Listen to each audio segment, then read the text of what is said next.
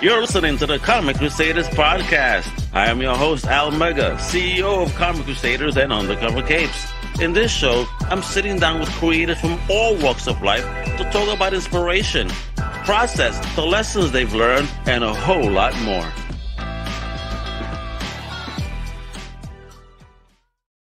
Well, mi gente, it's your boy Al Mega. Welcome to a brand new Comic Crusaders podcast. Wow, my 410th episode. And what's awesome is the guest that I have here. It's been over a year on my 297th. It was the last time I spoke to him. And so we have a whole year of bochinche, as we say, you know what I mean, to catch up on. But he has an upcoming amazing project. I had the opportunity to read that second issue uh, of this project coming out.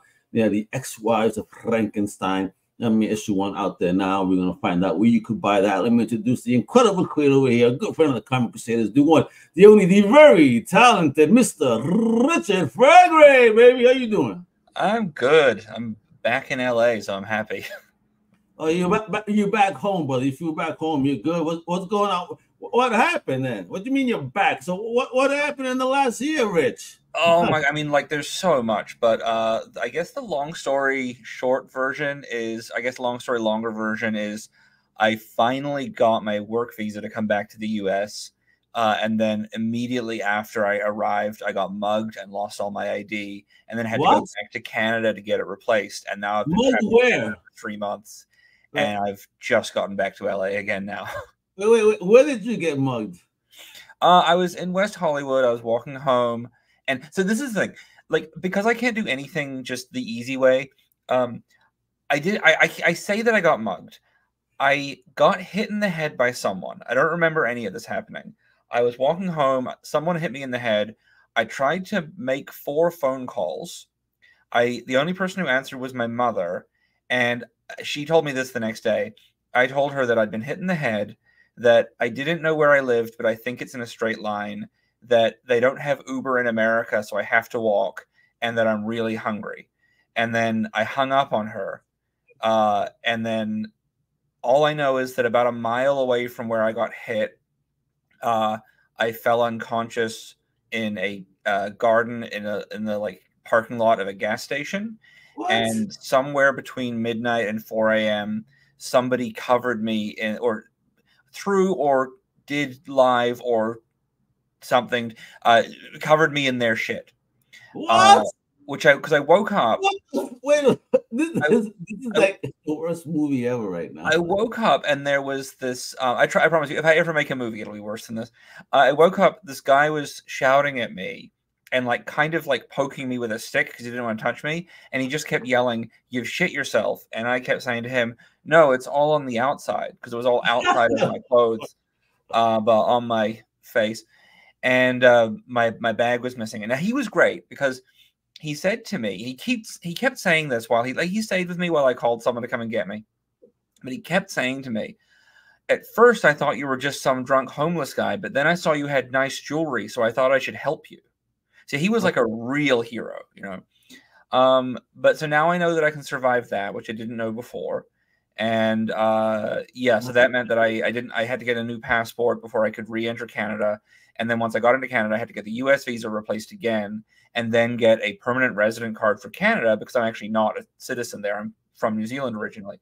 Um, and I had to wait for that to arrive before I could leave. So everything was set up to start doing work. I was meant to be doing this like whirlwind tour of conventions and like it was like uh, New York and then uh, England, and then I was doing some book signings in Germany, and then I had a thing in France, and then I was meant to come back to LA and do a show here, then a show in San Francisco, and then back to LA for another thing, and then back to. I was meant to have like four months where I wasn't in the same place for more than a week at a time, and all of that got canceled, and everything else got canceled, and I was like, cool, I'll just get back to work and like make a bunch more comics. That's fine. I like doing that. But the comic that I was halfway through at the time was about a cranky old gay man who uh, was traumatized by an assault and no longer left his house much. So it became really depressing to draw. So I put that one on hold and I made a thing about ghosts. All right, all right. But damn, bro, I, am glad that you're okay and, and, and with us. Uh, I know that must have been a horrible experience. I mean, sounds fucking Jesus Christ, bro. wow. Uh, there's no words, but but again, uh, at least the very much I can say is I'm glad you're okay and you're here and you're able to still create for us. You know, I mean, look look, look at that dope crib. I like the background you got going on, and now you know, let's start talking about that creative journey now in the year. You know, after that horrible life experience. God. um, so talk to me about this though, because this is you sent me this issue, the ex-wives of Frankenstein. This is number two, something that's upcoming. But but I you know I was thinking it. I mean, not not having the first issue now, you know, questions is like what is going I, I kind of understand what's going, but introduce me to this Woolrich. What is going on here in the ex-wives of Frankenstein? What was that first issue all about? I mean, Okay, so it's um it's a it's a four issue miniseries. Issue two will be on Kickstarter very soon. Uh, I, we should be in pre launch by the end of this week. Um, it is a modern reimagining of the aftermath of the Frankenstein story. So, uh, three years after uh, Victor Frankenstein and his monster have disappeared somewhere in the Arctic, uh, it's they are discovered living as a gay couple uh, and uh, and obviously alive and well, and they are now returning to the city. And my book focuses on uh, Elizabeth Frankenstein and the Bride of the Monster, who haven't spoken in three years, who have a lot of resentment towards each other, uh, but know that no one else could possibly understand what they are about to go through. So it's a story about them spending the day together, the day their husbands are coming back, as heroes of uh, Reddit and Twitter and the MRA movement. Man, and you kill me because let me tell you when I was when I was reading I gotta do ask about this though because you know hopefully it's not a spoiler, but the movement. What is Jesus Christ? If you could act, make this any longer, two LGBTQIA plus. what is the two? uh, two two is for uh, two is for two spirit, which is uh sort of the the um uh, the indigenous uh, designation of transgender people. I think um, it's so I'm sort of I'm I'm trying to use trying to use all of the correct lettering in there, but I'm very deliberately using a mixture of the American designation and the Canadian designation because okay. the the the joke I'm doing is how eager the uh, people on television are to get it right. Oh yeah, I, I see it. It's not making me laugh in, in a particular scene here. All right, but all right, so in that person, talk, talk to me about you know the, the relationship of, of, of, the Frankenstein monster and the bride there, because uh, uh when I'm again being introduced here, things are different, mm-hmm. things are going on. I mean, do what do we get in that first issue? Do we get you know kind of the experience of that relationship at all? No, you you never see the men in this story. Um, I I think they're they've had their story told enough. Um, uh, the story is it's it's about it's mostly about the bride of the monster who's now going by Victoria Frankenstein, uh, as she deals with like being a green woman stitched together, but who is still somebody's sexual fantasy and living in a modern world as like an object of fetishization. And uh, you know, the the one person who probably should understand what she's gone through and understand what life is like for her is Elizabeth Frankenstein. But Elizabeth comes from this incredible place of privilege where she has also had to protect herself and accept a lot of things just to get by. Um, you know, in the original novel, uh, Elizabeth is literally a, a, kid, a girl from a poor family that Victor's mother says, Oh, you're too pretty to be poor, and adopts her. Mm. And then says to Victor when he's five years old, Here is your new younger sister. She's here for your every pleasure. And then he grows up and fucking marries her. So, you know, you can imagine how how damaging that is to a person. Uh, and so she has like protected herself with whatever armor she can gather, most of that being wealth. And she has uh, been pretty shitty to Victoria and let Victoria kind of take the blame for being just another monster. So the first issue is it's it's the day they find out. It's um it opens with Victoria, you know, answering the door. Elizabeth is there with the newspaper headline saying they're alive. Um, hmm and the the closest you ever get to a picture of uh, Victor and the monster is a cropped photograph that is sort of if people are very uh, astute about it, they'll notice that it might match the the well-known photo of uh, uh, Ghislaine Maxwell and Elon Musk. Gotcha. So let me ask you here: how did you approach the character development then? You know, in, in that first issue, you know, what were you digging into? Um, I was really digging into what it means to be uh, created for someone else, and what it feels like to, uh, what it feels like to be the um, afterthought in a story about somebody else's genius. Hmm. Uh, I'm really interested in you know the these these men who were who were considered terrible when things went wrong, but I'm sure up until that point had absolutely been celebrated all of their lives, and these women who were meant to just kind of go along with it. So while Victoria has literally been stitched together from corpse pieces to make the monster happy, Elizabeth has been given as an object to Victor when he was a kid and has been there to make him happy. So it's sort of I'm looking at what it means to uh, to not have your own story and have to try and figure out what that is later on. Gotcha. So talk to me. Did you face any challenges while you were building this? You know, in creating the storyline. Uh, I actually I didn't really. This one came to me really easily. Um, okay. like the, the actual the premise for it. Uh, there's about five years ago, um, I started just tinkering with this this notion of the, like the title because you know obviously there's so many the son of Frankenstein, the bride of Frankenstein, the the the the blank of Frankenstein, and uh, and I said it as a, as a joke once, the ex-wives of Frank, or I said the ex-wife of Frankenstein, and that led me down this path of of figuring out who these originally who Elizabeth was, and then who um, who Victoria would be. I had um, I had some sort of different versions of it along the way. There was a a period in the beginning where I was going to make it entirely about Victoria and just this almost like a one woman show about being a monster, but still having people want to fuck you. Um, and then, and I was going to have sort of Elizabeth looming large as this uh, threatening presence from her old life, but actually have her never show up, which is kind of what I ended up doing with the with uh, Victor and his monster uh, in the final version. But yeah like th- there were there were points where it was it was always just in the back of my mind like maybe this is a sitcom maybe this is a, a tv drama maybe this is a movie maybe this is literally a stage show um, and then uh, i had just finished working on um, uh, one of the issues of haunted hill and you know, I I I I push pretty hard to have the surreal supernatural stuff come through in Haunted Hill in like really unexpected ways. Um, you know, there are a lot of ghosts in Haunted Hill, but they're all buried underground, so you never see them. Uh, and it just creates the sense of weirdness. There's an idea that things are more possible. And I thought, why am I always doing this thing where I don't actually show the weird part? And uh, then I had this, so I, I just I, I made a, a a reference to it online somewhere, and I just said, you know, I'm, I'm stating it now. Here, this is going to be my next um, my next comic, and I I posted a screen grab of I posted a photograph of of the the Google Doc where it just said the ex-wives of Frankenstein, and I thought this will just disappear into the void. Maybe it'll be the next thing I make. Maybe it won't. And then uh, I was working on another book. I had a kid's book to finish, and I was in a Twitter space, and somebody else um, started talking about the ex-wives of Frankenstein, and they, they what they said was they'd seen the title, they couldn't remember who came up with it, but the title in and of itself evoked so many ideas they couldn't wait to see it.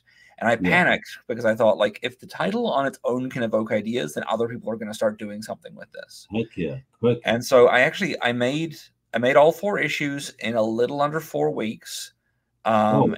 And yeah, I, I was working like a, a maniac. Um, and uh, I'm really glad I did because, like, l- since I launched the first one back in uh, what August last year, there have been there's been so many different Frankenstein things showing up. You know, there's there's a there's a new Frankenstein movie. There's a there's um, Lisa Frankenstein that came out last week. There's Poor Things, obviously, which I think is just like an absolute masterpiece. Yeah. Um, so it, it, sort of feels like either I'm gonna get completely left behind, or uh, if I release it too slowly, I'll get seen as the person who came afterwards, or I have tapped into something and everyone's really interested in Frankenstein right now, and that would be great. I think you're telling something because it is definitely a whole different uh, look into it. You know, it definitely has its moments. So how are you balancing that humor with the storytelling, particularly in this story? Because I definitely could tell you with the second issue, it had laugh out loud moments like, oh shit, fucking Richard you're you're funny ass writer, bro. Let me tell you there was a moment, and it kind of in the beginning. Just I'll, I'll just say in the subway, so you know what I'm talking about. I know what you mean. Yeah. So funny. Holy shit. You mean the picture that I posted in isolation and people got really mad about? Yeah. yeah. I mean, this is the, one of the things that I really love about the story is um, I like stories where you get to see uh, how people are. Um, oh yeah, that, that, so there's that's from the first campaign. That that yeah. is, by the way, an actual uh, idea, you know, and get a tease what we're looking at for number two that's coming soon, folks. You know, I'm saying, but this is the first campaign. There's know? her, her sexy shower sequence. Um, there's a there's something I think that's really interesting about the way that we view um the way that we view people going through something terrible or difficult as uh, still having to behave correctly. And I think obviously publicly we kind of do. Like we cannot we cannot be the wrong kind of we cannot grieve the wrong way. We cannot because every everyone's paying attention to us and they'll question everything we do. If we say the wrong thing in the moment, it's recorded now. It'll be remembered forever. Um, and, and memes. I wanted to show like this this idea of this these women who are they've just found out that like their husbands are coming back, which is absolute chaos for them, but also that their husbands are now publicly a gay couple, which is super messed up when you consider that one of them built the other. Yeah. Um, but also it means that these two men have absolute cover to never be criticized because there's like like oh uh, if if your if your husband leaves you because he uh, the monster he built goes on a rampage and destroys the city uh, then you are you are the sympathetic character i mean probably there have been some questions as to how much she knew going into it or whatever but like she's still a mm-hmm. sympathetic character if your husband leaves you because he's finally found his truth you can't be angry and she cannot be public. she has to be publicly supportive of him and she has just found out and i love being able to show the raw moment of anger and bitterness as she as yeah. she goes through that development.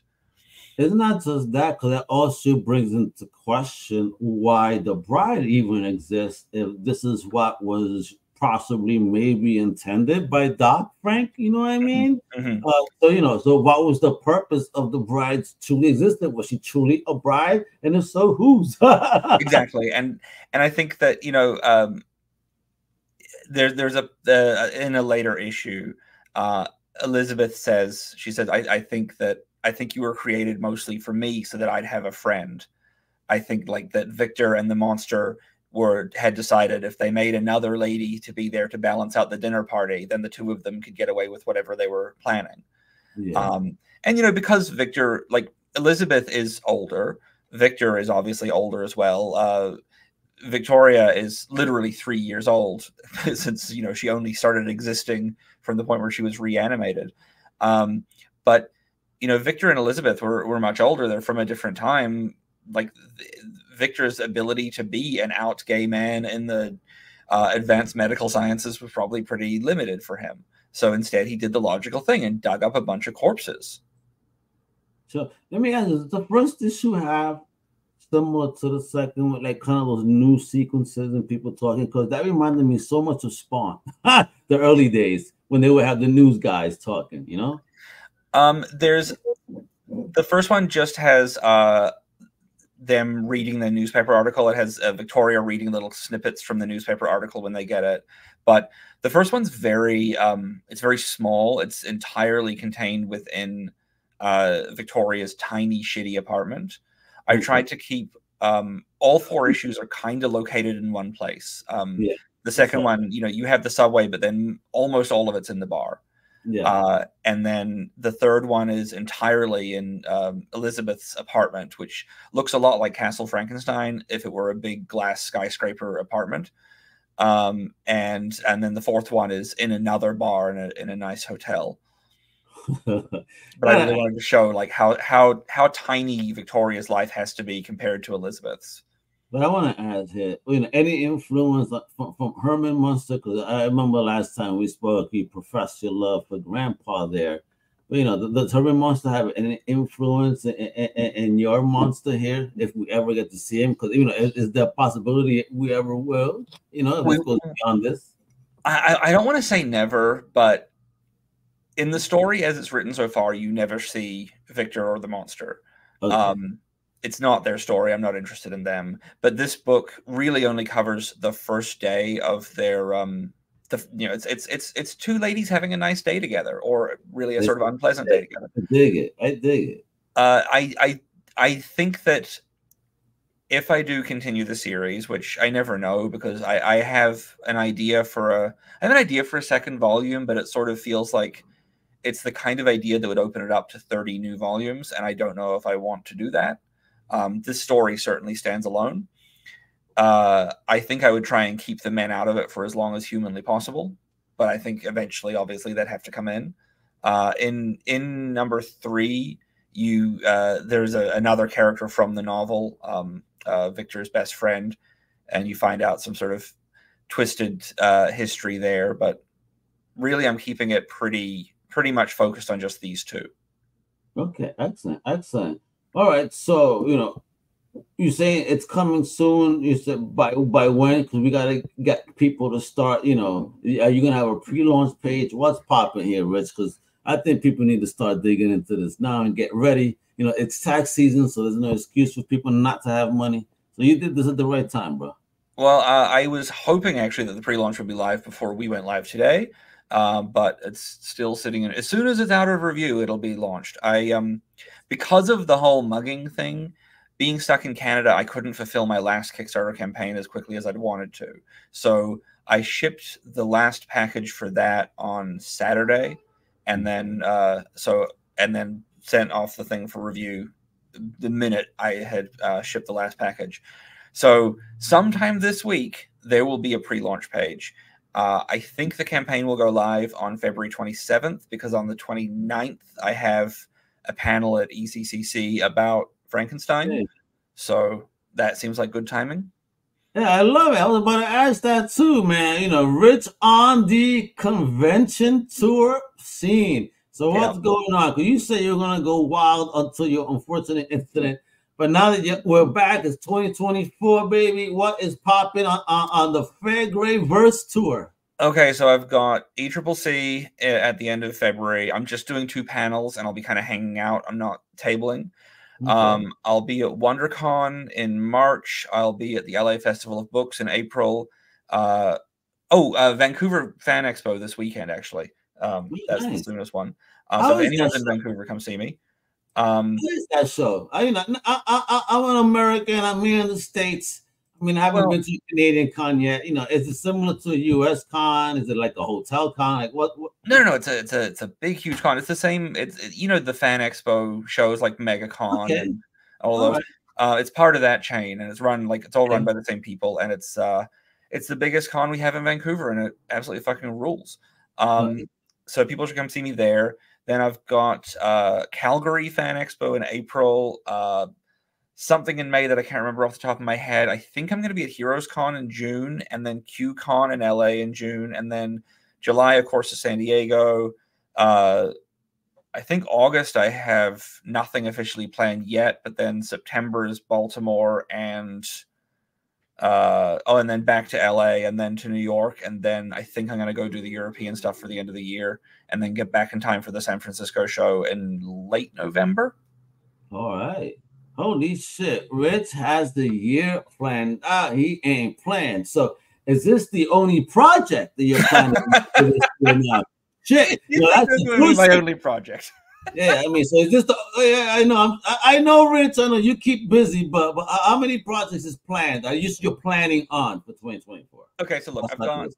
I turned 40 April 19th, 2025, okay? Oh, word, my birthday the 24th.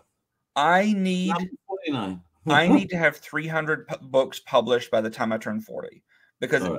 as you know, anyone who doesn't have that has just completely failed. Everyone knows that. It's a basic standard for everyone 300 published books. I'm at Out there, I said 271 right now. Bro, I'm behind by 300 then. God damn.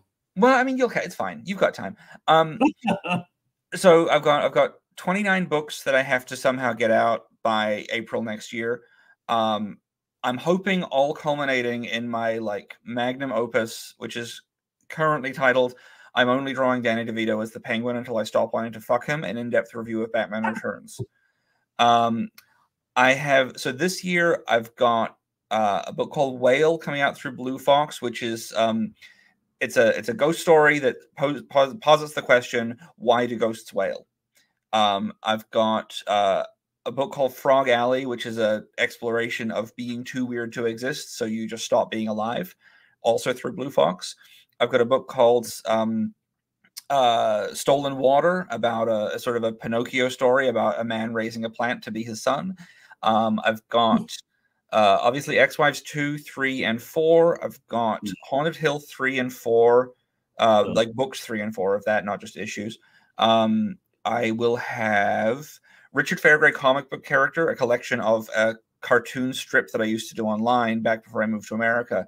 And I'm just putting together two short collections that are called uh, Richard Fairgray comic book character, The Good Ones, and More. Oh, uh, I'm doing a, uh, a an ongoing se- well i started this thing that was meant to be an eight page ghost story and then i was like well i could make it a 24 page ghost story explore the characters a little bit more and then i realized that at 24 pages i'd come up with a much more interesting character and the ghost part was or the spooky part was so small that actually this needs to be a huge coming of age sprawling narrative that is more about somebody learning to uh, grow out of Marvel films than anything else. But that's called Wet Cement. So that's a six issue run. Um, I've got this thing, The Lights That Guide You Home, which is the one about the cranky old gay man who's scared to leave his apartment. But it's it's a it's a spooky story about a, a town that replaces its streetlights with much brighter bulbs, and it all it does is make the shadows darker and things start growing out of them. Oh, um, I have what else have I got? This guy's a madman, folks. You hear this guy? There's there's something else. and I can't remember. Oh, I'm doing a thing called skinny because I had this. I, I joked the other day when I said we should. Well, the other day, several months ago, I said we should really call fat people skinny because they have more skin. And I started thinking about what's the monster that collects our skin. It's the skinniest monster, and it's just sort of a sack of skin oozing around the place. And I think it's something to do with like a kid who cleans his bedroom so well that the monster that eats the the skin from the dust particles gets hungry and starts eating him in his sleep. Holy shit, bro! You're scaring me. I shouldn't be cleaning my room then. bro, all right, I all right. That concept right there, you're fucking terrifying me. You, that, that that sounds like like uh, well, uh, definitely a new horror movie in the Blumhouse uh, hmm. franchise. Let's go, Fairgray. I, I need to see that as a fucking movie, not just a comic book. Yeah, and I I um I signed on to Ghostwriter thing today that I'm obviously not allowed to talk about because I'm the ghostwriter.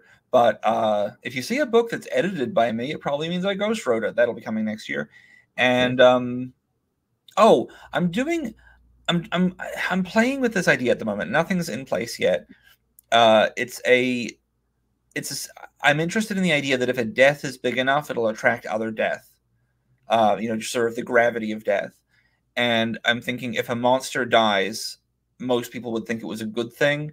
But when something that big dies, it brings other death to it. And I'm thinking of doing a sort of almost like a like an infinite scroll, but in print form. So I'm thinking of literally doing an actual scroll um, of a, a, a sea monster sinking to the bottom of the ocean and pulling death in with it.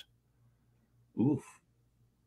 Huh, so wow. I, I think it would be sort of a not not quite as not quite like one single image, but like essentially you'd be following the monster down as all of the fish come in to eat it, and as they do, uh, they get trapped inside the monster that they're eating, and the pressure gets too great, and they burst, causing more fish to come in and eat them. Holy shit. This guy's a madman, folks. You see what I'm saying about this guy? An amazing creator. Fire projects on the way. An amazing tour he's going to be doing this year as well. I mean, you could keep posted on the website. I've been showing nonstop Richard Fairgray.com. You know what? Let me add this for a moment too, so you guys check out the website. So you know you go to the right place. It's right here, richardfairgray.com, comic creator, a bunch of comic series. You can see everything he's been working on, has all his social links, join a mailing list. What did they get out the mailing list? Um, well, that's sort of complicated. They used to get a thing I called Disaster Piece Theater, where I would um I would send a story out each week of some ridiculous thing I'd done. I, I tend to head like I, I run headfirst into adventures, and a lot of them were like, um, maybe I was oversharing a bit. And then last year, um, I had a couple of incidents where some people people who were close to me kind of used stories from my life as sort of punchlines for their like essentially like I realized I was the most interesting person in their world and they were using me to make themselves seem more interesting and I felt very exploited by it. So mm. I am figuring out where the line is between oversharing and uh and being like and not hiding because you know I spent I think when you and I first spoke, I had just stopped doing kids' book stuff. Yeah. And a big part of that was because whenever I did an interview for kids' books, I would come away from it feeling like I'd fucked up because like I never I never get the line right as to what I can say. Like did I did I swear accidentally? Did I whatever? And there was this one day where um I was I, I was promoting Haunted Hill at the same time that I was promoting Cardboardia. And I'm about to do this interview. I can't remember which one it was for. Right before we start, the interviewer says, By the way, I read Haunted Hill. I fucking love it. So I'm like, Okay, cool. I know. And then he says, First question, um, Hey, okay, so Richard, a lot of the places in your book are based on real locations. What's your favorite one? And I said, Oh, Slamtown, the sex club that Eva works at, is actually based on Slammer here in LA. It's my favorite. It's a prison themed sex club. And their big claim to fame is that they have uh, the longest succatorium in Southern California. And he just stared at me. And I said, "Oh, sorry, a succatorium is like a big long wall of glory holes. But what different, differentiates slammer is that the uh, the people getting sucked go up a ramp, and the people doing the sucking are on the ground floor, and so their dicks come through holes of different heights. But it means that no one has to be on their knees, and you don't want to be on your knees at slammer because the floor gets pretty gushy. Yeah, and it, it, turns out I was doing an interview about Cardboardia, my children's series about kids from Brooklyn who can travel through cardboard boxes to an imaginary world and I was speaking live to a group of librarians. Um, and the world didn't end. I didn't catch on fire. It was fine. But I like looked at it. I was like, oh, the worst thing that could have happened has happened. Fuck it. I'm done. I'm going to be public about everything. I'm never going to try and yeah. mitigate the Richard disaster of it all moving forward. And so I didn't. And I put out this newsletter and I spoke on a lot more interviews and I was very open and honest about every single aspect of everything. And then um, I had a I had a medical problem where I they found some uh, some spots on the on the white matter in my brain, and they didn't know what it was, and I had to go back for tests, but I had to like wait a year to go back for follow ups to see if they'd grown. It could have been a sign of like early onset dementia, or it could just be uh, long COVID, and it could be stagnant.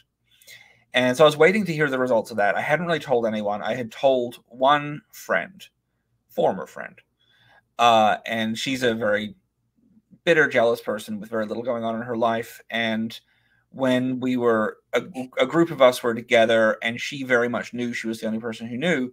Um, and the conversation had a lull. She said, "Hey, Richard, do you have the results of your brain problem yet?" And like started to talk about it in front of everyone, including like an ex of mine. And I sort of realized, like, oh, like I do, I wasn't comfortable telling everyone about it yet because I didn't know the results and I didn't want people worrying. By the way, the end result is it was a it was an effective COVID, and there's no growth of these spots. It looks like I'm fine. I have to get tested every year, but mm, you know, at the moment, everything seems fine. Um, but like because that was the thing I couldn't share, she had then shared it for me and yeah. weaponized it to make herself seem important. Like it was an ownership thing. She needed people. I get it, brother. I've yeah. been there, done that. I won't say who. But there was a big moment in my life that I was supposed to share, mm. and someone like cut me off from sharing what I should have shared. And it's like, you know, they stole a very important moment from me. Like you say, in order for them yeah. to feel important. Because they want to be able to say, to like, day, I feel to this day, I feel a type of way, but you know, what can I do? It's the past. You can't change it unless they make a time machine soon enough. Look, if they ever make a time machine, I'm gonna. I don't want to use it for anything really good. You know, listen with the with the way you read so many Evan books, I'm pretty sure that you're definitely gonna be up to some some some creation. Oh yeah, I would just get more work done. I would just go back in time, see my younger self, and be like, "Look, Richard, these ones suck. Jump to this. Here, here's the script. I'm gonna write scripts and send them back to you. Just draw them. Learn how to draw this thing better sooner. Don't waste your time, motherfucker. I'm gonna be comfortable when I get back." If I have to come back, I'm gonna kick your ass. I imagine the beating you remember the day that I beat myself. comic. If, I beat myself daily. If comic creators could travel in time, though, they would just be showing up screaming, "Look after your back. Do wrist exercises." you know what I mean? I, I, I feel, oh, bro, right? I, I, I, I think you should have really gone back to this mugging. Don't go down this motherfucking street tonight uh, unless you want to wind up being shot on. Well, Wow. that's just- but then- But then I would never know that being shit on by a stranger doesn't kill me. Folks, uh, if you just tune in, uh, you rewind. Yeah, Rich Rich has been through something in the past year, but again, I'm happy that he's okay. He's here, and he definitely has his 2024 planned out. So please make sure to support independent creators like Rich. He's out there. He's having fun. The story is dope. The Ex-Wives of Frankenstein. I mean, uh, you and my son me that the, the first one, so I heard get in line because Mhm. I was digging the slice of life feel. Like I said, laugh out loud moments outside even that one that I mentioned. There's a couple of moments there, but also insight and like, okay, what a different perspective on, on, on the mythos. So I definitely dig the way that you're kind of doing this, brother. So you know, I'm definitely looking forward to see you know where else it goes. Of course, if you're interested, again, check out richardfairgray.com. Then also check, you know, Kickstarter is going to be the pre-launch ready really soon. And if you want to stay in tune with that, all you gotta do is follow him on social with on Twitter, which is Richard Fairgray. On Instagram, it'll be Richard Fairgray Author. All right. So show the love. The links are below too. I make life easy for everybody. But this is what you gotta do to support amazing independence like Rich. So before we go, brother, and- and the lessons of this year, being shot on, coming up with a whole bunch of stuff and being inspired afterwards. I mean, like, uh, what advice you have for folks? You know, and I hope it doesn't take another year before you fucking come on. I don't know. I'll, I'll, I'll book it again. Look, I tried to book again with you, but you were busy. You're very popular. conventions, conventions, man. I was like, yeah, listen, I was in New York, and unfortunately, you weren't there, right? You said this year. I was in New York. Damn, man, I missed you. Well, let's plan on this year to definitely at least meet in person and say hello. All right. All right, we'll do we'll do a live one next time. No, we'll do we'll do another couple like this, and then we'll do a live one in New York. 'cause that's ages. Oh, we could definitely do a live one in New York. I love that because we have the media spot. You come over and, and, and we get it locked down, and people see or actually from the booth. All right, Mhm. so let's get back to it. What type of advice after this year that you've had? um, we live in a cursed world, and it hurts to make anything beautiful, but that's not a reason not to do it. Oh, wow. That is beautiful. I love that. Richie, other man, thank you again for coming on to the program to talk about what you got going on. This amazing story, the future. You know what I mean? That wild story, folks. Uh, it's his story, so I better not see this in a comic book. You know, I ask him permission because that does sound wow, like wow, uh, insane. Thank you for sharing. Because and again, Oh, oh, I forgot. I remember I said there's something else I was doing, and I can't remember it. Yeah. I'm doing a second volume of horror shorts, and then I'm going to do a collection of short stories, of short horror stories about um, eating and shitting, called "Things That Go Dump in the Night." Oh shit. well, no pun intended. All right, there you go. For this, listen, you see this guy. His mind is out there. A lot of fun stuff, uh, funny stuff. Make sure to check it out. All right, and with that, thank you so much, Richard, the man. Thank My you. Crusaders, thank you for tuning in. Much love. Hasta la próxima. Hueva! Thank you for listening to Thank the you Comic for listening Crusaders to the Comic podcast. If you like the content, you please like the subscribe content, and please turn on subscribe and notifications. turn on notifications. Also, please visit Also, please visit and our extended ComicCrusaders.com and our podcast family extended over at podcast family over at undercovercapes.com. undercovercapes.com. And also make sure to And also download make the sure Crusaders app the on the Crusaders app Store the Play Store today.